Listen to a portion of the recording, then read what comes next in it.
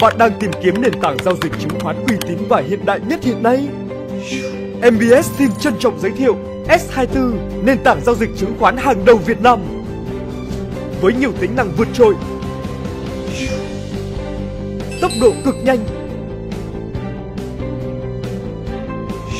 kéo thả tùy biến, linh hoạt sắp xếp các trường thông tin tham khảo theo nhu cầu.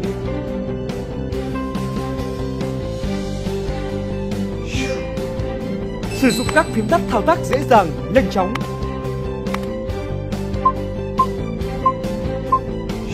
Ba hình thức xác thực thông minh Smart OTP hoặc quét mã QR code SMS OTP Đồng bộ danh mục và giao diện hiển thị với MBS Mobile App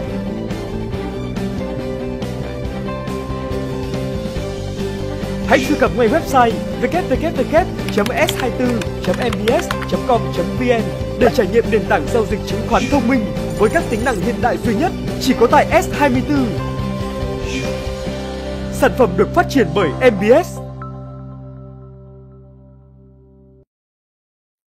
Vâng, xin chào mừng quý vị và các bạn đã quay trở lại với kênh công ty cổ phần chứng khoán MB. Chúng ta lại gặp nhau vào khung giờ 8 giờ 30 sáng sau một kỳ nghỉ lễ kéo dài 9 ngày sau nghỉ Tết Nguyên đán. Và đến với chúng ta ngày hôm nay vẫn là hai khách mời rất quen thuộc, đó là anh Hoàng Công Tuấn và anh Trần Hoàng Sơn. À, xin chào quý nhà đầu tư, chúc mừng năm mới. Và đầu tiên anh em tôi xin uh, chúc mừng uh, gửi tới những nhà đầu tư lời chúc mừng năm mới an khang thịnh vượng, vạn sự như ý, đầu tư thành công, tài khoản luôn xanh và tín. Vâng. vâng uh, tốt quá. Có lẽ um, đầu năm uh, là một kỳ nghỉ lễ kéo dài 9 ngày và cũng được qua những được trao đổi và cũng là nhà đầu tư hôm nay là cố gắng là reset lại tất cả mọi thứ. Và hy vọng là năm mới sẽ có một kỳ vọng rất là nhất định. Tuy nhiên chúng ta sẽ có một câu chuyện ấn tượng nhất trong năm vừa qua đầu năm uh, nhâm dần. Đó là chúng ta người Việt Nam đã có giành chiến thắng vào ngày mùng 1 Tết và đến nhà để chúng để khán giả là chiến thắng với đội tuyển Trung Quốc với tỷ số là 3-1 và tuyệt vời hơn nữa đó là ngày hôm qua đội tuyển nữ Việt Nam đã vượt qua được vòng loại World Cup và chúng ta sẽ được hưởng không khí World Cup vào năm 2023. À, đây là một cái thông tin rất là vui và có lẽ là chúng tôi xin à, chúc mừng huấn luyện viên Mai Đức Chung cũng như là đội tuyển nữ Việt Nam đã các cụ gái vàng chúng ta đã hoàn thành tốt nhiệm vụ và cảm ơn các cụ gái vàng đã cho chúng tôi được hưởng không khí của World Cup vào năm 2023. Vâng, xin à, quay trở lại với à, chương trình chứng khoán ngày hôm nay. Có lẽ bắt đầu từ anh Tuấn nha.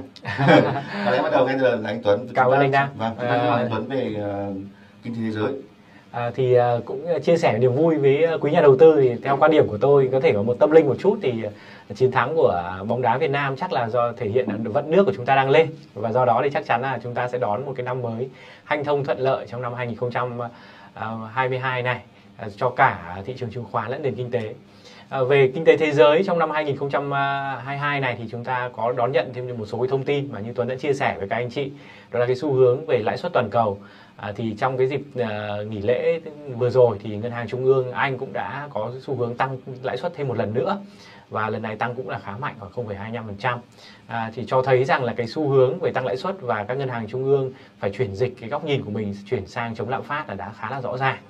À, mặc dù ngân hàng trung ương Âu Châu cũng đã tuyên bố rằng họ chưa có kế hoạch gì trong việc à, à thay đổi mặt bằng lãi suất trong thời gian tới và giữ nguyên chính sách tiền tệ. Tuy nhiên thì à, theo góc nhìn của Tuấn thì à, chắc chắn trong thời gian tới họ sẽ công bố cái kế hoạch về giảm bớt quy mô của gói kích thích tiền tệ gói QE từ mức 80 tỷ euro một tháng xuống mức 40 tỷ một tháng. À, còn trong tháng 3 này thì à, chúng ta cũng à, phải ngóng chờ cái thông tin từ Fed à, liên quan đến việc à, tăng lãi suất. À, thế thì uh, có rất nhiều cái quan điểm cho rằng là Fed với cái áp lực lạm phát hiện nay thì họ sẽ có thể tăng lãi suất sốc trong uh, tháng 3 năm 2022. Thế tuy nhiên thì góc nhìn của Tuấn thì Tuấn uh, cũng chia sẻ với nhà đầu tư là chúng ta không nên quá uh, lo lắng về vấn đề này. À, nhấn mạnh lại các ngân hàng trung ương trên thế giới hiện nay đang bình thường hóa chính sách tiền tệ không phải là thắt chặt thì có rất nhiều báo chí cũng có chuyên gia à, Tuấn cũng không hiểu lý do tại sao mà mọi người lại hay dùng từ thắt chặt chính sách tiền tệ thực ra không có gì thắt chặt cả à, trước đây chúng ta siêu lấy lỏng thì bây giờ chúng ta quay trở lại trạng thái bình thường. Đấy là đấy là chia sẻ của Tuấn. Và do đó thì cái những sự biến động trên thị trường chứng khoán à, trong thời gian qua Tuấn cho rằng nó cũng chỉ mang tính tạm thời. Và sau đó thì thị trường sẽ phải tiếp tục đi lên. À, tuy nhiên sẽ mang tính chọn lọc hơn rất là nhiều. À, về kinh tế vĩ mô của Việt Nam thì à, trong à, thời gian vừa qua cũng có một số cái thông tin nổi bật. Đó là liên quan đến à, cũng lại là câu chuyện của lãi suất. Thì uh, trong cái thời gian qua thì một số ngân hàng uh, thương mại cũng đã bắt đầu tăng lãi suất huy động. À, với với cái mức độ vừa phải từ 0,2 đến 0,3% tùy kỳ hạn à, nhấn mạnh lại với các anh chị và các bạn thì đa phần là các cái ngân hàng à, à, từ cấp cấp trung trở xuống các ngân hàng lớn à, và có chiếm tỷ trọng tín dụng cao trong toàn hệ thống thì vẫn chưa có cái dấu hiệu gì à, tăng mạnh về lãi suất cả à, huy động cả. Tuy nhiên cái xu hướng à, về mặt lãi suất huy động tăng lên nhẹ trong 2022 là tương đối rất là rõ ràng. À, vì chúng ta cũng là thấy rất là rõ trong thời gian vừa qua à, cái kênh tiết kiệm cũng đã không có cái sự hấp dẫn nhất định và do đó thì một số à, người dân và những người gửi tiết kiệm đã rút bớt à, tiền ra khỏi cái kênh tiết kiệm để chuyển sang cái kênh đầu tư khác như là bất động sản chứng khoán. Thì về mặt tổng thể của nền kinh tế nó sẽ phải tự cân bằng. Khi mà à, cái mức độ à, huy động vốn nó ít đi thì các ngân hàng sẽ phải tăng lãi suất lên để tăng cái hấp dẫn của kênh gửi tiết kiệm. Mọi thứ đều phải cân bằng hài hòa thì kinh tế mới phát triển được. Đấy là cái góc nhìn của Tuấn. Thì à, chia sẻ với các anh chị và, và các bạn thì đầu năm mới Tuấn có cái sự tự tin rất là lớn liên quan đến sự phục hồi kinh tế vĩ mô của Việt Nam trong năm nay. À, chúng ta sẽ có một cái năm tăng trưởng mạnh mẽ à, sau 2 năm à, chịu ảnh hưởng nặng nề của dịch bệnh Covid-19. tin tốt là chúng ta sẽ dần dần kiểm soát được dịch bệnh và Thủ tướng cũng đã chỉ đạo rất là mạnh mẽ trong năm 2022 là chúng ta phải phục hồi kinh tế và du, du lịch chắc chắn là chúng ta sẽ đến việc đi, đi du lịch thoải mái hơn trong thời gian vừa rồi thì các anh chị cũng đã thấy những cái trung tâm du lịch như là Đà Lạt và Vũng Tàu đã đông nghẹt khách du lịch thì chúng ta sẽ quay trở lại cuộc sống bình thường Thế chúc các anh chị một năm mới vui vẻ và hạnh phúc và thành công. Vâng, xin ờ, cảm ơn anh Tuấn chia sẻ rất là cụ thể. À, tuy nhiên tôi có một vài câu hỏi. Đầu tiên là câu hỏi về uh, kinh tế thế giới. À, hiện tại đang có mâu thuẫn giữa Nga và Ukraine có vẻ đang đẩy hơi cao. Vậy có một thông tin là thông tin của tôi là uh, lượng khí đốt của châu Âu nhập 40% là từ từ Nga. Vậy liệu rằng câu chuyện uh, khi mà mâu thuẫn căng thẳng giữa Nga và Ukraine lên cao như vậy thì nó có ảnh hưởng gì đến cái giá dầu không À, thì rõ ràng là nó đã ảnh hưởng rồi. Trong thời gian vừa qua thì cái sự căng thẳng của Ukraine và Nga đã đẩy giá dầu Brent lên mức là 90 đôi lúc là lên mức 94 USD một thùng. À, thì rõ ràng chúng ta thấy rất là rõ về cái câu chuyện uh, áp lực của của giá năng lượng tăng lên rất là mạnh. À, thế tuy, tuy nhiên thì cái góc nhìn của tôi thì tôi đánh giá rất là là là sâu sắc nhiều năm tôi quan sát. Thì có thể thấy rằng là cái xung đột giữa Ukraine và Nga à, chỉ sẽ dừng ở mức xung đột thôi. Chúng ta sẽ không phải lo lắng gì về một cái trận chiến giữa xảy ra giữa Nga và Ukraine. Bởi vì cả hai bên đều không có cái động cơ quá mạnh để việc gây ra một cuộc chiến tranh và gây ra áp lực rất lớn lên nền kinh tế của cả hai bên. À, thì tại thời điểm hiện tại thì chúng tôi thấy rằng là à, với trường hợp riêng trường hợp của Nga chúng ta thấy rằng là Nga đã uh, thu hồi lại Crimea trong cái khoảng thời gian trước đây và cái mục đích của họ đã đạt được rồi do đó thì không có lý do gì họ tiếp tục gây một cái cuộc chiến tranh với Ukraine Đấy. Trong khi đó Ukraine thì ở cái ở trong cái trạng thái rõ ràng là sẽ thiệt hại rất lớn nếu như trong trường hợp mà Nga gây ra một cuộc chiến. Cái tất tôi thấy rằng là cái cuộc chiến này xảy ra thì cả hai bên đều sẽ thua. Thế do đó tôi nghĩ rằng là với những người có lý trí thì không bao giờ họ sẽ gây làm cái việc đó cả nên chúng ta không quá quan ngại vấn đề đó. À, chắc chắn là à, hai bên sẽ rồi sẽ đi tìm đến một cái giải pháp và đi đến hòa đàm và tôi nghĩ rằng là mọi chuyện sẽ trở nên ổn định trở lại. Vâng, có lẽ đây chỉ là một cái sự kiện gây áp lực giữa uh, của Nga dành cho các nước uh, ở NATO thôi. Đúng rồi. đó, đó là, là một cái động thái. Đúng rồi. Tránh việc là Ukraine tham gia vào NATO. Đúng. Trong khi đó đã được giành được Crimea thời gian trước rồi. Rồi. Vâng. Uh, cảm ơn anh Tuấn đã chia sẻ về kinh tế thế giới cũng như là vĩ mô Việt Nam. Quay trở lại với kinh tế chứng khoán. Chúng mời về chúng ta quay trở lại với anh Sơn. Vậy anh Sơn trong những tuần vừa qua, tuần cho nghỉ Tết thì thị trường chứng khoán thế giới có gì biến động không ạ? À, về diễn biến của thị trường chứng khoán thế giới thì chúng ta thấy là trong ngay tháng 1 thị trường cũng đã phản ứng rất là cực kỳ mạnh mẽ đối với những cái thông tin về khả năng tăng lãi suất của uh, Fed dự kiến vào trong tháng 3 tới. À, tuy nhiên thì ngay trong cái nhịp mà phục hồi vào tuần đầu tháng 2 thì chúng ta thấy là thị trường chứng khoán toàn cầu cũng đã kết thúc cái nhịp điều chỉnh à, diễn ra rất là mạnh mẽ trong tháng 1 và đã phục hồi ngay trong cái tuần đầu tháng 2 nên là nó tạo ra một cái hiệu ứng uh, tương đối tích cực. Và một cái điểm nhấn thứ hai là chỉ số S&P 500 cũng đã chạm những cái vùng hỗ trợ mạnh như đường MA trung bình động MA 250 ngày đã phục hồi trở lại. Và À, mặc dù vậy nhưng mà chúng tôi vẫn nhận thấy là dòng vốn quốc tế cũng đang bị rút khỏi một số thị trường ở châu Á. Thì chúng ta nhìn thấy cái bảng tổng sắp ở đây tức là trong kỳ mà chúng ta nghỉ Tết thì uh, thị trường chứng khoán toàn cầu đã có một cái nhịp điều chỉnh rất là mạnh vào thời điểm là cuối tháng 1 và đầu tháng 2 thì đến cái tuần đầu tháng 2 thì các chỉ số bắt đầu phục hồi như chúng ta nhìn thấy là à, chỉ số S&P 500, Dow Jones, thậm chí những cái chỉ số ở khu vực châu Á như là Hàn Quốc, Hồng Kông cũng đã có cái nhịp phục hồi rất là mạnh từ 3 đến 4% trong cái tuần vừa qua. Và nhìn về các nhóm chỉ số thì chúng ta thấy rằng là à, đã có một cái nhịp điều chỉnh sâu trong thời điểm à, nửa cuối tháng 1 và bắt đầu phục hồi dần à, lên vào à, tuần đầu tháng 2. À, đặc biệt là chỉ số à, à, Hồng Kông của à, Hồng Kông HK50 thì đã có tín hiệu là phục hồi đã tăng tốt hơn so với các cái thị trường khác. À, một điểm nhấn ở đây thì chúng ta thấy rằng là cái nhịp điều chỉnh vừa qua của chỉ số S&P 500 là một trong những cái nhịp điều chỉnh mạnh nhất à, kể từ cái đợt à, bán tháo do Covid-19 vào tháng 3 năm 2020 thì chúng ta thấy rằng là cái vùng hỗ trợ của đường MA 100 ngày luôn luôn là cái vùng hỗ trợ rất là mạnh của chỉ số S&P 500 thì đã bị phá vỡ trong cái thời gian vừa qua cả đường MA 100 ngày và đường MA 200 ngày. Đây là cái xu hướng à, dài hạn đang bị à, xâm phạm. À, tuy nhiên thì à, sau một cái nhịp điều chỉnh sâu thì cái vùng MA à, 250 ngày đang có tác dụng chống đỡ rất là tốt. Và thứ hai nữa là à, cái vùng hỗ trợ của Fibonacci à, 23.6% cũng là một trong những cái vùng mà hỗ trợ rất là tốt à, đối với chỉ số S&P 500 và nó tạo ra một cái nhịp à, phục hồi của chỉ số này. Và ngắn hạn thì chúng ta đang trong một cái nhịp phục hồi uh, sau một cái giai đoạn điều chỉnh. Tuy nhiên thì chúng tôi vẫn nhận định rằng là uh, trước cái kỳ tăng lãi suất vào tháng 3 tới của Fed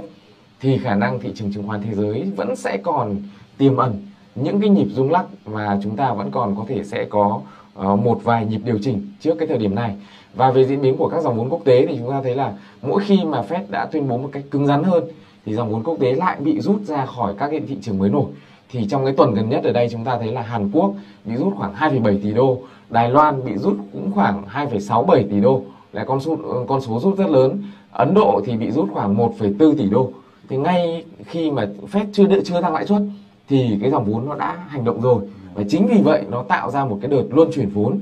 uh, rất là mạnh mẽ và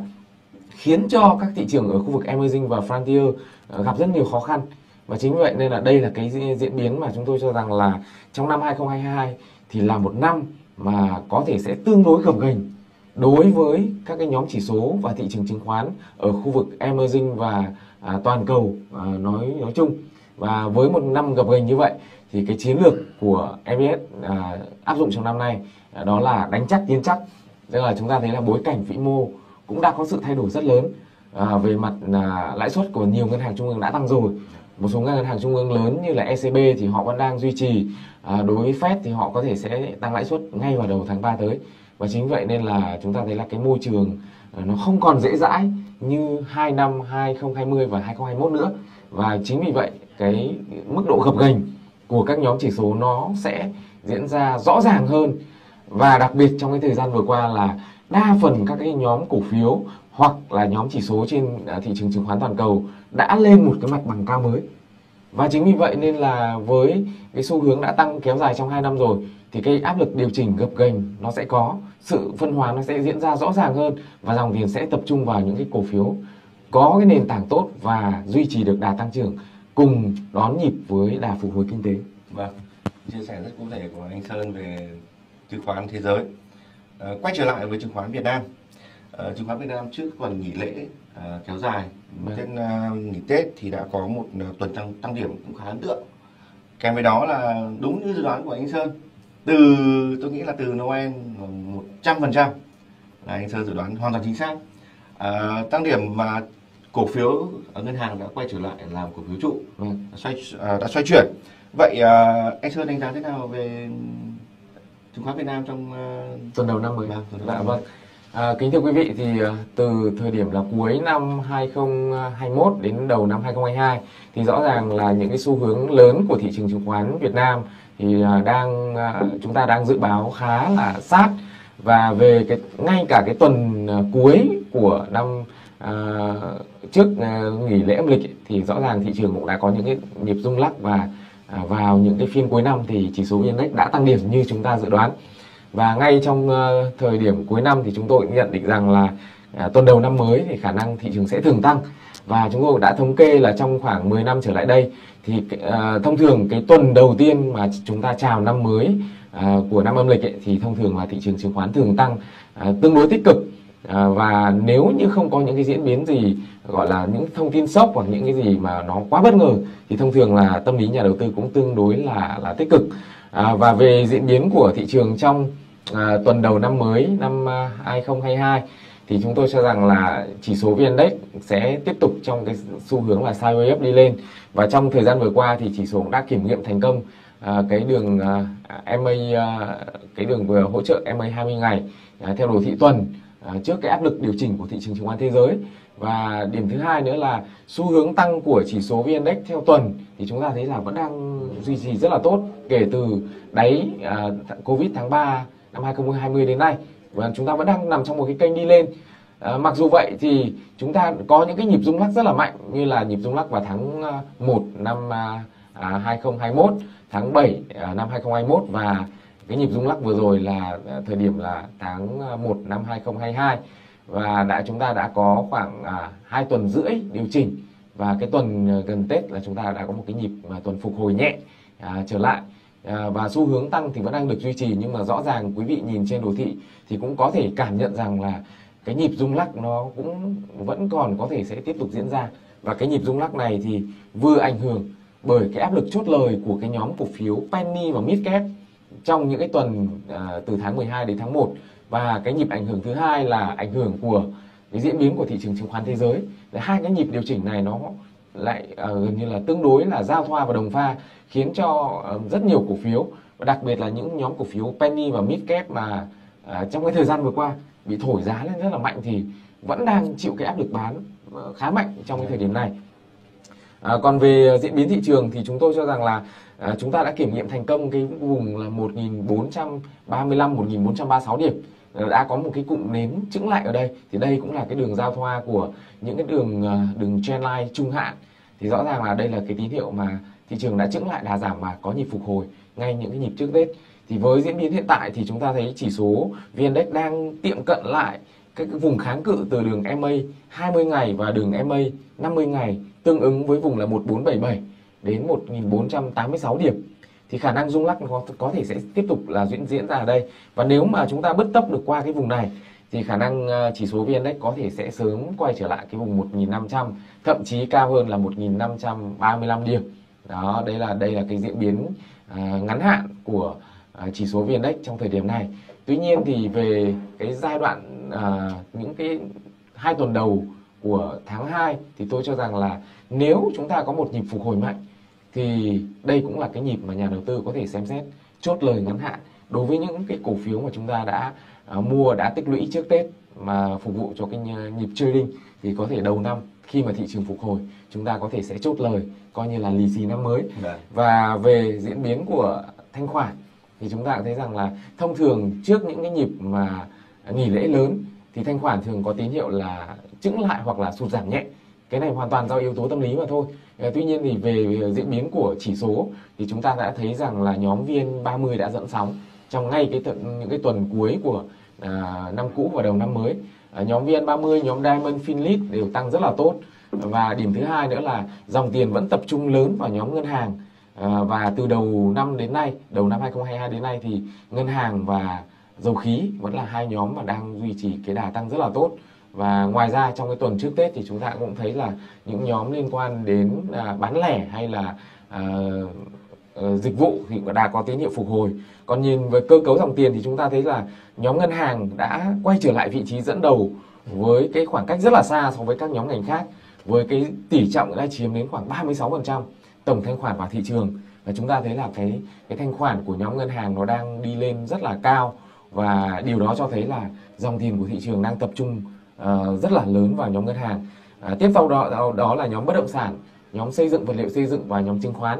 thì ờ, bất động sản thì đang có tín hiệu là thu hẹp lại một chút. Áp lực chốt lời vẫn đang diễn ra ở nhóm này. À, nhóm xây dựng và nguyên liệu xây dựng thì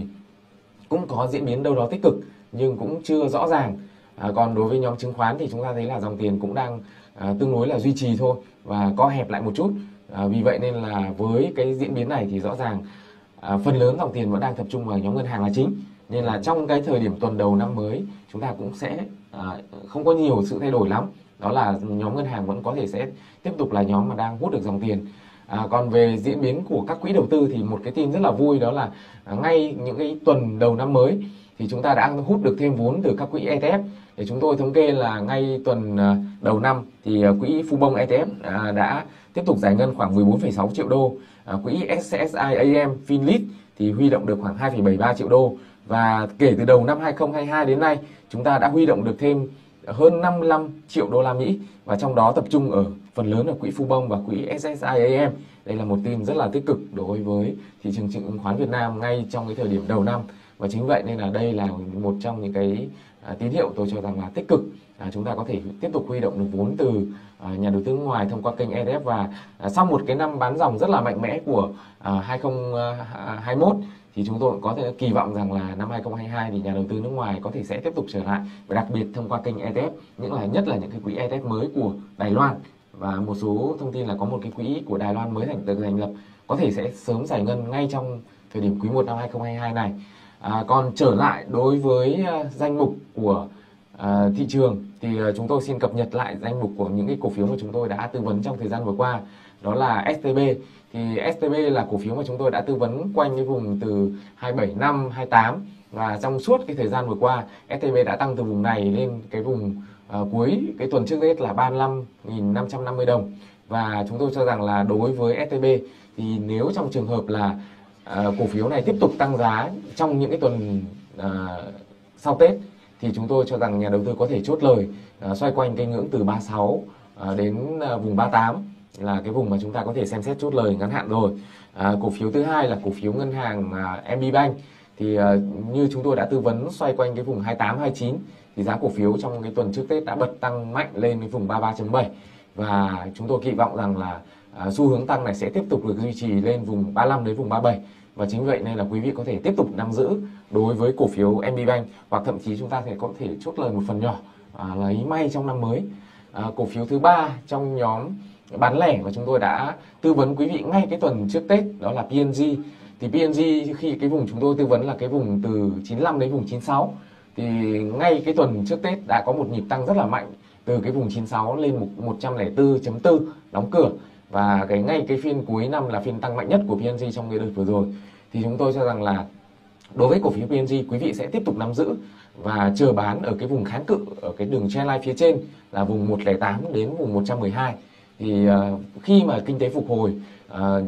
cái nhu cầu đi lại tăng và uh, gần như là các hoạt động có thể trở lại bình thường thì rõ ràng là cái nhu cầu mua sắm vàng trang sức sẽ diễn ra rất là là là mạnh mẽ và cái điểm thứ hai là giá vàng đang trong cũng trong cái xu hướng tăng trở lại khi mà áp lực lạm phát đang tăng cao và chính vậy nên chúng tôi vẫn kỳ vọng rằng là cái mục vùng vùng giá mục tiêu của P&G từ 108 đến 112 là rất có thể đạt được trong uh, tháng 2 này. À, cổ phiếu thứ ba mà chúng tôi xin tư vấn trong tuần này đó là à, cổ phiếu thứ ba mà chúng tôi xin cập nhật đó là PTB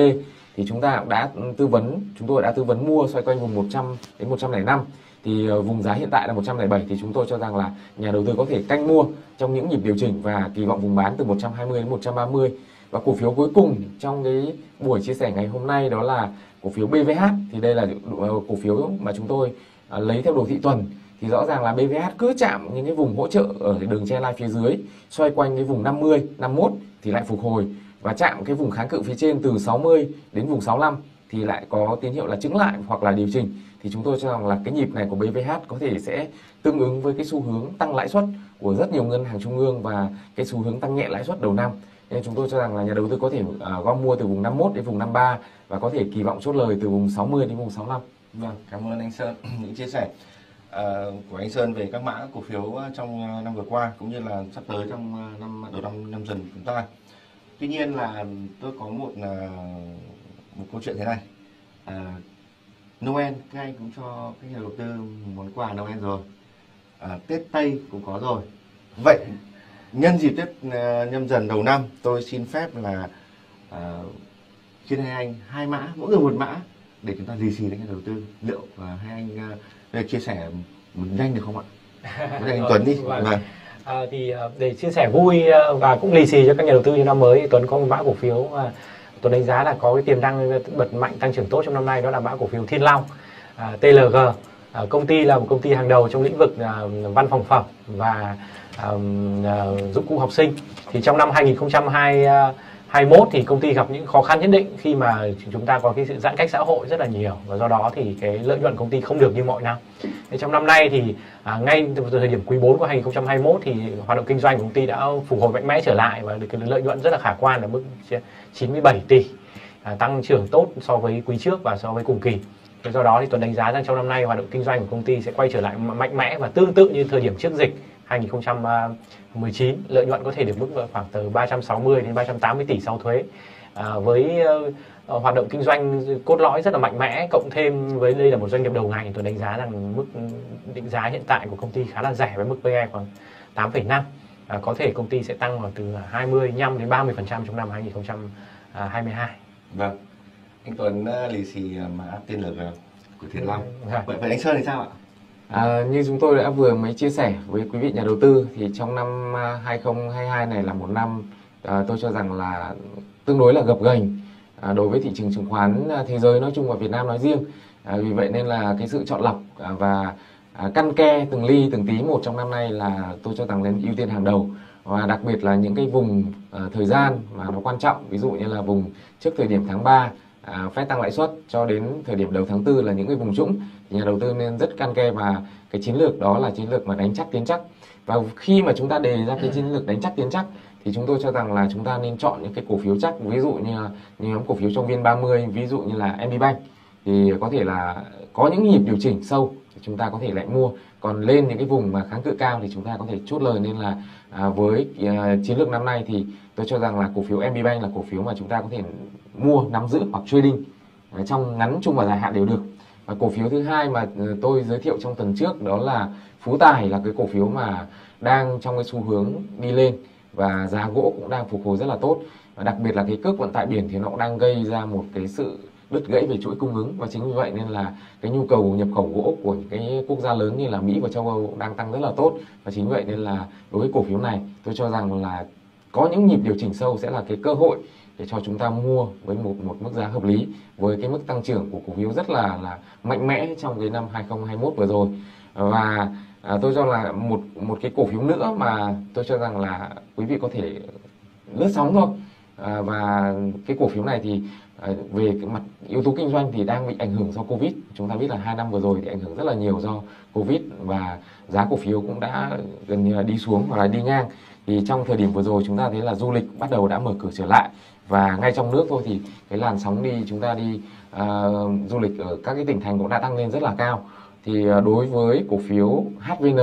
là cái cổ phiếu mà cũng đã chịu áp lực giảm rất là mạnh trong cái thời điểm vừa rồi. Và à, chúng tôi cho rằng là nếu trong trường hợp mà kinh tế mở cửa trở lại thì HVN sẽ à, có thể sẽ đón nhận được cái cái à, những cái yếu tố tích cực hơn và sẽ hỗ trợ được cái yếu tố về mặt kinh doanh. Mặc dù rõ ràng là chúng ta nhìn thấy là cái khó khăn trong hai năm vừa qua nó nó rất là trồng chất vâng. nhưng về giá cổ phiếu thì khả năng khi mà kinh tế được mở cửa trở lại du lịch mở, mở cửa trở lại thì giá cổ phiếu sẽ phục hồi trước khi mà kinh doanh có sự phục hồi một cách rõ ràng và chính vậy nên là với cái vùng giá xoay quanh cái vùng 23 24 thì chúng ta có thể để ý để tìm những cái nhịp mua trading đối với cổ phiếu HVN khi mà kỳ vọng về du lịch sẽ sớm phục hồi trong năm 2022. Vâng, vậy là anh Sơn uh, lì xì xin một mà anh Sơn cho ba. Rất là rất là tuyệt vời. Uh, vậy uh, câu hỏi cuối. Theo các anh thì thị trường trong ngày hôm nay diễn ra như thế nào ạ? Tôi đoán trước tôi là người lạc quan. Cộng một thời tiết ngày hôm nay cũng rất là tôi thích thời tiết lạnh nên tôi rất là lạc quan ngày hôm nay. Tôi dự đoán hôm nay sẽ xanh khoảng 20 điểm. Chúng ta sẽ vượt qua được ngưỡng 1480 vậy theo các anh thì thế nào uh, chắc chắn là phiên hôm nay nhiều khả năng nhiều khả năng chắc chắn thì hơi nói quá nhưng mà nhiều khả năng sẽ là phiên tăng bởi vì à, theo kinh nghiệm cá nhân của Tuấn thì bao giờ ngày đầu năm với tâm lý của các nhà đầu tư cũng rất là lạc quan và rất nhiều người thì sẽ có cái xu hướng là mua cổ phiếu đầu năm để lấy lộc giống như giống như mua vàng vậy vâng. do đó thì hôm nay chắc chắn là mọi người sẽ có một cái phiên tăng điểm còn tăng bao nhiêu thì cũng rất là khó nói chắc khoảng 5 điểm vâng. à, tôi thì tôi cho rằng là đầu phiên sẽ mở cửa xanh à, chúng ta sẽ có một sự chững lại vào giữa phiên thì nhà đầu tư à, có có thể là sẽ chốt lời à, lấy lộc đầu năm và cuối phiên có thể thị trường sẽ tiếp tục duy trì cái sắc xanh à, tương đối mạnh và à, phần lớn là nhóm cổ phiếu VN30 sẽ tiếp tục dẫn dắt trong đó có nhóm ngân hàng. Vâng. Xin cảm ơn uh, hai anh. Vậy theo uh, quý vị hôm nay thị trường sẽ như nào hãy comment chúng tôi biết nhé Uh, nhân hiện đây chúng tôi cũng đã đến khung giờ 9 giờ chúng ta sẽ bắt đầu vào phiên đầu tiên của năm nhâm dần vậy uh, chúng ta sẽ gặp lại nhau vào tuần sau và thứ hai tuần sau khung giờ 8 giờ 30 xin uh, chân thành cảm ơn và chúc quý vị các bạn có một năm mới đầu tư tuyệt vời xin chào quý nhà đầu tư Dạ. Bạn đang tìm kiếm nền tảng giao dịch chứng khoán uy tín và hiện đại nhất hiện nay? MBS xin trân trọng giới thiệu S24, nền tảng giao dịch chứng khoán hàng đầu Việt Nam. Với nhiều tính năng vượt trội, tốc độ cực nhanh, kéo thả tùy biến, linh hoạt sắp xếp các trường thông tin tham khảo theo nhu cầu.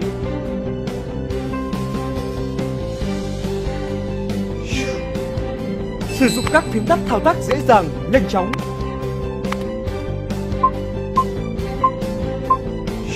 Ba hình thức xác thực thông minh. Smart OTP hoặc quét mã QR code. SMS OTP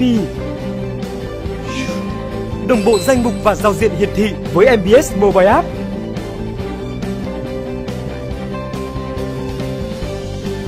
Hãy truy cập ngay website www.s24.mbs.com.vn để trải nghiệm nền tảng giao dịch chứng khoán thông minh với các tính năng hiện đại duy nhất chỉ có tại S24. Sản phẩm được phát triển bởi MBS